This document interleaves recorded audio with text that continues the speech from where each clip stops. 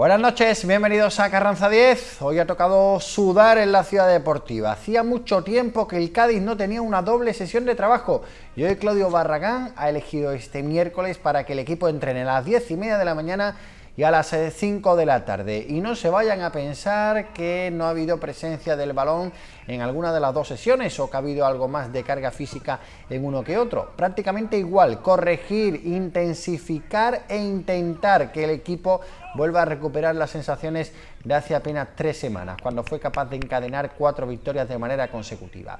El haber sumado solo un punto de nueve hace que el Cádiz ya prácticamente haya dicho adiós a la lucha por el liderato Fíjense lo que son las cosas, si el Cádiz hubiera conseguido pleno de puntos, estaría ahora mismo como líder de este grupo cuarto de segunda B, pero como lógicamente no ha sido así, el Cádiz ahora tiene que buscar a corto plazo atar cuanto antes la tercera plaza. El Sevilla Atlético tiene un punto más, aunque recuerden que el Golaverat está empatado entre cadistas y sevillistas, por lo que habría que ir a la diferencia general de goles, donde el Cádiz sí es eh, más solvente, tiene mejores números que el conjunto de Diego Martínez. Aunque hoy en la sesión de trabajo eh, la intensidad ha sido la nota predominante y Claudio Barragán no ha dejado que nadie se duerma en los laureles, todavía queda analizar el porqué de estas tres semanas consecutivas donde el Cádiz no ha dado su mejor imagen. Pese a que en Sevilla todo se achacó al quedarse con uno menos y a ese penalti fallado por Dani Huiza, está claro que algo ha fallado tanto en el encuentro ante la Real Balompédica Canenense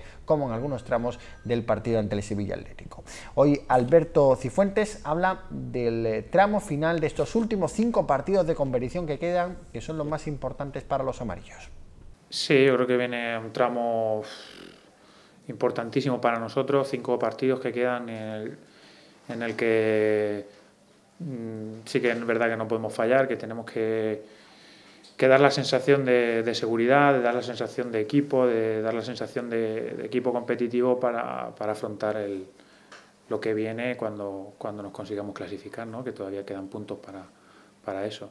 Entonces, bueno, yo creo que ahora es importante centrarse en lo que, lo que toca. Yo creo que el otro día contra el Sevilla un poco se vio lo que puede ser, que es verdad que no hicimos un fútbol demasiado vistoso, pero se vio un equipo más competitivo, más junto, mucho más serio, en definitiva que se vio un poco partido parecido a lo que puede ser un playoff, ¿no?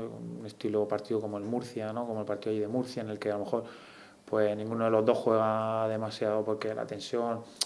Los partidos de playoff no suelen ser así, partidos de mucho fútbol, vistoso, son de mucha tensión, pues yo creo que el otro día se vio un poco eso, y ahora lo que viene es, es un poco para nosotros demostrarnos que podemos llegar en muy buenas condiciones para, para afrontarlo. Bueno, al final el míster lo que busca es una reacción y que el grupo eh, participen eh, casi la mayoría de jugadores disponibles, que seamos competitivos todos, como tú dices, e intenta un poco, pues eso, buscar las reacciones, buscar un poco ese equilibrio en el equipo. Pues siempre después de a lo mejor una derrota, pues se intenta buscar otras cosas, soluciones, que quizá pues al final no sé, eh, bueno, yo, creo que al final la tónica del equipo durante todo el año ha sido juegue quien juegue, el equipo más o menos ha mantenido una línea un poco constante, a veces es verdad que hemos tenido mejores líneas de juego, otras veces nos hemos caído un poco. Bueno, yo creo que ahora llega la parte fundamental y ahora pues ya poco queda, yo creo que es juegue quien juegue, lo que tenemos que hacer es estar juntos e intentar sacar resultados, como te he dicho, estos cinco partidos son una prueba para nosotros de demostrarnos que, que lo que viene luego puede ser, eh, puede ser positivo. Esas son preguntas para el míster, ¿no? Yo, ¿Qué quieres que te diga? Al final es una plantilla bastante equilibrada la del Cádiz, ¿no? Que uno tiene sus cualidades, otro tiene otras, pero si está, la gente que está aquí en la plantilla es porque ha demostrado en otros sitios que puede estar aquí y bueno, pues, pues estamos intentando competir dentro de la plantilla para, para, que, para sacar buenos resultados. Luego el 11 es una cosa que el míster es el que decide, el que está fuera, el que nos ve, el que intenta lo mejor para, para nosotros y, para el grupo. Y ahí que no tenga un 11 no, no, te puedo, no te puedo decir. Sí, sí, tienes razón. Hombre, lo que es importante es que cuanto más gente se sume ahora al grupo que nos pueda aportar cosas, pues mucho mejor para todos, porque eh, parece ser que lo que viene, el playoff puede ser largo, ¿no? Entonces, No, no, me, me refiero, ya sabes a lo que me refiero. Eh, entonces, bueno, cuanta más gente pueda estar ayudando, cuanta más gente coja confianza, tenga confianza y nos pueda aportar cosas, pueda aportar cosas al grupo, pues mucho mejor. Entonces, lo que pasa es que ahora también pues, quedan cinco partidos y, es difícil equilibrar minutos, ¿no? Porque prácticamente la, la, temporada está, está aquí ya, está, está terminando y bueno, pues quizá eh, se intenta un poco recuperar las sensaciones en, en, el entrenamiento y que bueno, pues si, si conseguimos que la gente que empieza a entrar en el... Yo creo que Alejandro está un poco mejor de... Y cuando vino, has dicho tú que le costó entrar, yo creo que ahora nos está dando cosas, está participando mucho más en el juego, por ejemplo, es un ejemplo de, que hay jugadores que, que pueden sumar y que, que, suman y que ojalá que, que sumen para que podamos hacer un, un grupo lo más amplio posible y más competitivo para lo que viene.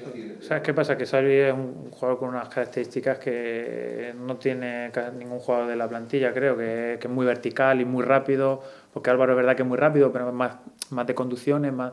Entonces, bueno, pues eh, cuando tienes un jugador tan específico que, que no se estaba dando tanto, porque es verdad que no estaba dando mucho, pues quizá ahí Mister intentó buscar soluciones y, y quizá, pues bueno, pues eh, encima han venido resultados que no han acompañado, pues parece que un poco se echa más de menos todo. Bueno, pues puede ser, a ver si bueno, a ver si se recupera Salvi, porque está trabajando muy fuerte y nos echa una mano como la que nos estaba echando. Y bueno, y entre todos conseguimos llegar a la última jornada de liga en buenas condiciones y, afrontar de manera positiva lo que viene. Yo creo que, por ejemplo, el otro día contra el Sevilla Atlético nos dimos cuenta de que hemos progresado en el sentido de que estando juntos, haciendo la presión juntos, eh, sin volvernos locos, eh, yendo a robar cuando en, zonas de presión, como el otro día en la primera parte hicimos, que tuvimos la ocasión de Huiza y unos cuantos robos en campo contrario que fueron bastante peligrosos, nos hemos dado cuenta de la manera que tenemos que, que afrontar los partidos, que una manera muy parecida a la que, a la que afrontamos en, Murcia, yo creo, el partido, y que quizá perdimos un poco al final del partido con el Linares, el partido de, del Betis B se perdió un poco y el equipo fue un poco más desordenado. Yo creo que ahí nos hemos dado cuenta de que a partir del orden podemos ser un equipo muy, muy, muy, muy peligroso porque eh, se nos, cuesta que nos hagan peligro, cuesta que nos lleguen, porque de verdad que el otro día en Sevilla eh, prácticamente no nos, no nos generó demasiado peligro. ¿no? Al final no deja de ser un partido entre rivales de playoff y, y yo no recuerdo que tuviera que hacer muchas intervenciones, a excepción de la del gol. Entonces, eso nos hizo demostrarnos que con orden y juntos vamos a ser muy difíciles Y a partir de ahí ganaremos eh, esa solidez en el juego que otros días sí hemos conseguido. Bueno, es lo que es lo que te he dicho. Yo creo que vamos a intentar a partir de ese orden intentar recuperar las sensaciones en el juego. A ver si esta semana conseguimos un poco eso en Almería, ¿no? A partir de ese orden recuperar el balón e intentar eh, tener más ratos de posesión, como hemos tenido algunos días aquí en Carranza, que hemos hecho un fútbol bastante vistoso y luego hemos robado y hemos seguido teniendo ese fútbol, eh, que nos haga ser más constantes durante los 90 minutos. Al final, eh, cuando lleguen partidos importantes de playoff, que somos equipos muy parejos, al final el equilibrio estará en, en, quién mantenga ese equilibrio mental y de, y de orden y luego de juego más tiempo que, que el rival. Yo creo que a partir de ahí es cuando, bueno, a partir de ahí es cuando creceremos. Entonces vamos a intentar crecer ahora. Eh, hemos puesto la primera piedrecita, ¿no? Como el día de la olla, que me acuerdo que pusimos una piedra ahí de agresividad, de juego, de orgullo. Sacamos, bueno, ahora hemos puesto otra vez que, que tropezamos otra vez, hemos puesto la piedra del orden, la piedrecita del orden, pues vamos a intentar poner ahora la del orden y la de la posesión para llegar con más posesión hasta arriba, para tener más opciones de, de finalizar para un poco ser más equilibrados. Y la buena noticia para Claudio es que al menos ha podido ver a tres eh, futbolistas eh, que no pudo contar con ellos la pasada semana en la convocatoria, entrenando con completa normalidad. Son los casos de Carlos Calvo, de Fran Machado y aleluya Xavi Carmona, que solo pudo jugar un eh, partido en Carranza ante la Olla Lorca, se volvió a resentir de un 15 en el tobillo y a partir de ahí ha vuelto a desaparecer hasta que hoy lo hemos visto regresar a los eh, terrenos de juego. Fran Machado ya la semana pasada entrenó con normalidad, aunque el propio Claudio Barragán reconocía que era pronto para que regresara a una convocatoria. Y el caso de Carlos Calvo, pues con molestias en los isquiotibiales, se le llegaron a practicar varias pruebas eh, que no diagnosticaron ningún tipo de lesión, por lo que hoy ha regresado al trabajo una vez que parece ya se ha recuperado. En principio, los tres estarían ya disponibles para el partido de este fin de semana ante el Almería B y al que todavía le queda un poco de recuperación es a Salvi Sánchez, aunque hoy lo hemos visto también en el terreno de juego, pero eso sí, ejercitándose en solitario con José Luis Costa, uno de los recuperadores físicos del equipo. La buena noticia es que ha empezado a tocar balón, ya no solamente eh, toca la pelota en corto, también lo hace en largo, eh, realizando desplazamientos e incluso tiros a puerta. Parece que las sensaciones que tiene Salvi son muy positivas, eh, ya está cicatrizando esa rotura fibrilar que sufrió hace algunas semanas. Para este fin de semana prácticamente descartado, eh, sería una opción el que pudiera incorporarse al equipo la próxima semana, aunque desde luego en el cuerpo técnico ni mucho menos se quiere forzar la situación de Salvi, que llegó a ser un futbolista determinante. Y curioso es que sin el salluqueño en el terreno de juego, el Cádiz no ha sido capaz de vencer en ninguno de los últimos tres partidos. Decía Cifuentes antes que estamos en un momento crucial. Aridane, que ha sido el otro futbolista que hoy también ha hablado, eh, prácticamente ha hecho suya sus palabras. El Cádiz tendrá que quitarse de en medio ese mal de filiales que ha tenido durante toda esta temporada. Sí, la verdad que la semana pasada con el Sevilla, pues bueno, sí que es verdad que trabajamos todo el equipo, pero bueno, era, lo importante eran los tres puntos y, y no lo conseguimos. Y bueno, este fin de semana, como tú bien dices, tenemos que sacar los tres puntos como sea, por, por, lo, por lo, criminal, por lo, por lo civil, por lo que sea. Hay que sacar los tres puntos y, y coger buenas sensaciones también. Sí, bueno, sabemos de, de la calidad de los filiales, ¿no? que si no estás concentrado los, los, 90, los 90 minutos más el descuento, pues te la pueden liar en cualquier momento y bueno, en estas ocasiones no, no hemos estado pues concentrados los 90 minutos, hemos tenido detalles que no hemos sabido solventar y bueno, para eso están los entrenamientos, ¿no? para, para aprender de ellos y salir el domingo a ganar, a sacar los tres puntos.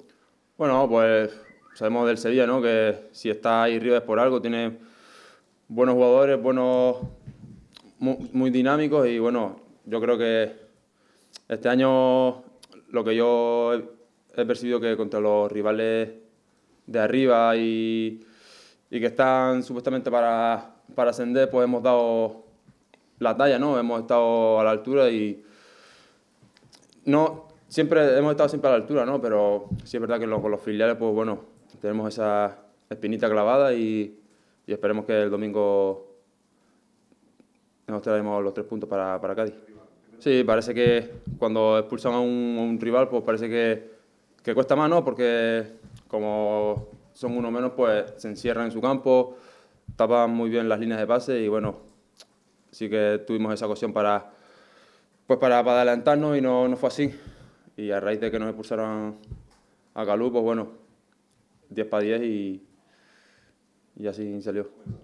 Mejor no pensarlo, no. Bueno, nosotros, pues bueno, hemos, fallamos en, contra el Betis, fallamos contra la Balona y, y la semana pasada pues empatamos y bueno, nosotros salimos cada domingo para, para llevarnos los tres puntos y aquí es o ganas, empatas o pierdes.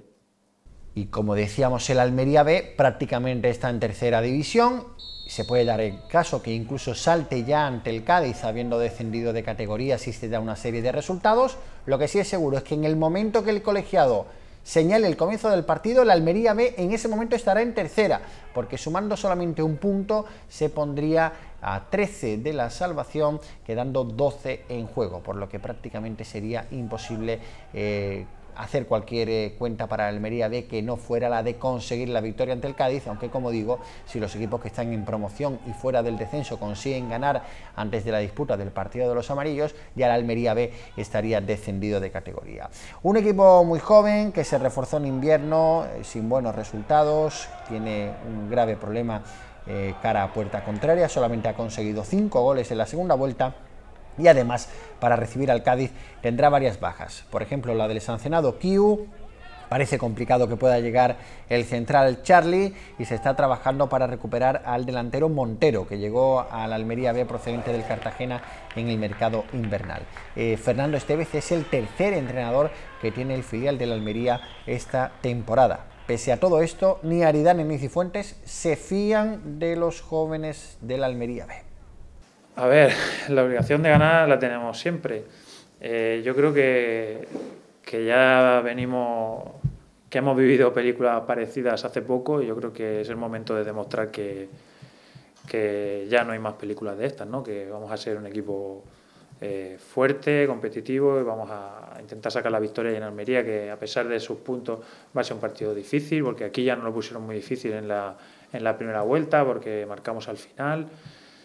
O sea que yo creo que aquí sí que tenemos que demostrar que, que, que nuestro rival somos nosotros y que lo único que tenemos que hacer es centrarnos en conseguir la victoria allí, independientemente de la clasificación de ellos o, de la manera de jugar de ellos o, o la presión que puedan tener ellos, que ahora mismo pues, no creo que sea demasiada en su situación, y en ese sentido es la hora de demostrar, de que demostremos de que, de que solo tenemos que pensar en nosotros. Bueno, por eso vamos a intentar no hablar mucho de eso y vamos a intentar que eso no suceda, vamos a intentar hacer un buen partido, vamos a preparar la semana eh, fuerte, preparando el partido como tiene que prepararse para que consigamos la victoria y un poco eh, consigamos ese despegue que, que, nos hace falta. Vamos a llegar, en el aspecto anímico vamos a llegar bien a Almería. Vamos a intentar conseguir la victoria de Almería, que es la que te he dicho, que, que no pase eso que, que tú has dicho, y a partir de esa victoria de Almería, si la conseguimos, vamos a intentar llegar en el aspecto anímico al partido de Casa de Mérida. Vamos a intentar pensar ahora, porque es momento de pensar más que nunca en el día a día, en el trabajo del día a día, los detalles de, de la presión, de, para llegar con ese nivel de confianza que hace falta pleno para afrontar el, el playoff. No, presión no. Nosotros sabemos que el Almería, como tú bien dices, está, está descendido, ¿no? Pero bueno, yo creo que los chavales van a, van a salir para dando el 100%. Nosotros somos el Cádiz y, y parece que los equipos, pues, aunque estén como estén, pues se suben, ¿no? Se, parece que quieren agradar a todo el mundo y bueno, tenemos, nosotros tenemos que que tener la cabeza fría, hacer nuestro partido y traernos los tres puntos. Sí, bueno, eso también dice la competencia ¿no? del equipo, que tienes que estar concentrado los 90 minutos y, cualquier error, pues bueno, los demás, los, los demás centrales pues también están trabajando día a día para, para ganarse puestos y bueno, yo, yo asumo mi, mi, mi, mi rol de, de, culpa y, y para eso estamos, ¿no? para trabajar día a día, para corregir errores y no pasa nada unos jóvenes y otros no tan jóvenes, porque hay alguno que tiene hasta 27 años en la plantilla del Almería B. Hoy eh, ha habido canteranos que han vuelto a entrenar con la primera plantilla. Uno de ellos, eh, que apenas lo ha hecho a lo largo de la temporada, el caso de Román, el eh, delantero del Cádiz B, que ha estado ya a las órdenes de Claudio Barragán, puede ser una de las alternativas que baraje el técnico en este tramo final de competición, viendo que Ranko de Spotovic ni mucho menos alcanzado la forma que esperaba el técnico valenciano. Ha continuado entrenando Kaluk pese a su expulsión de este pasado fin de semana, duró apenas 50 segundos en el terreno de juego y sigue ejercitándose con la primera plantilla Sergio, ya un habitual a lo largo de toda la eh, temporada. Los tres parece que van a completar esta semana de trabajo a las órdenes del eh, técnico valenciano. Y con Cifuentes y Aridane hemos analizado sus casos más particulares. En el caso de Cifuentes lo ha jugado absolutamente todo en liga, aunque eso sí, está con cuatro cartulinas amarillas, por lo que empieza el dilema. ¿Cuándo esperar a que llegue esa quinta amarilla para cumplir ciclo de amonestaciones y que juegue el Ballesté? Pues Cifuentes no tiene prisa. Bueno, la relación con él ha sido siempre buena, ¿sabes? Yo creo que tenemos un ambiente bastante positivo en el entrenamiento entre nosotros. Eh, Lolo Bocardo, que es nuestro entrenador específico, yo creo que nos lleva bastante bien. Y bueno, pues es un chaval joven que, que tiene muchas condiciones y, que seguro que este año pues le, le ha hecho pensar mucho, y, pero seguro que también ha aprendido mucho y bueno, al final lo que te digo, que al final si se consiguen los objetivos son de todos y él eh, cuando ha jugado, que ha sido en Copa del Rey, yo creo que ha hecho muy buenos partidos, ha demostrado que puede, que puede jugar en este equipo también y bueno, también eso es importante para él. No lo sé, la verdad. Eh, yo estaba en otras situaciones y, y me he sacado la. Bueno, he tenido el ciclo. Nunca se sabe, una cosa que valoraremos con el míster y ya está. También curioso es el caso de Aridane, al que hemos visto las últimas semanas entrar y salir a partes iguales del once titular. Hoy le hemos preguntado por esa circunstancia, esa falta de continuidad de los futbolistas en el eje de la zaga ha sido analizada por el Canario. No, al revés, no, me, me, me, da más, más fuerza ¿no? para, para entrenar día a día mejor, seguir mejorando y, y estar en el 11, ¿no? El, domingo. Y casi hasta el momento hemos dado todo buenas noticias, pero para terminar tenemos una que es un poco negativa. Alberto Quintana está lesionado, tuvo un problema en el tobillo hace un par de semanas, eh, estuvo recuperándose para llegar a este último encuentro del Cádiz B que llegó a disputar, pero el hecho de forzar parece que le ha perjudicado y tiene problemas en el pubis. Hoy lo hemos visto eh, sin poder eh, trabajar en el perímetro del área, dialogando con algunos de sus compañeros. cuanto menos se espera que esté algunos días apartado de los terrenos de juego, por lo que Alberto Quintana va a ser baja segura para este fin de semana, tanto en el primer equipo como en el Cádiz B. Así que le deseamos una muy pronta recuperación. Nosotros nos vamos enseguida, continúa la programación en 8 Televisión y mañana a las 10 de la noche Carranza 10, no se lo pierdan. Adiós.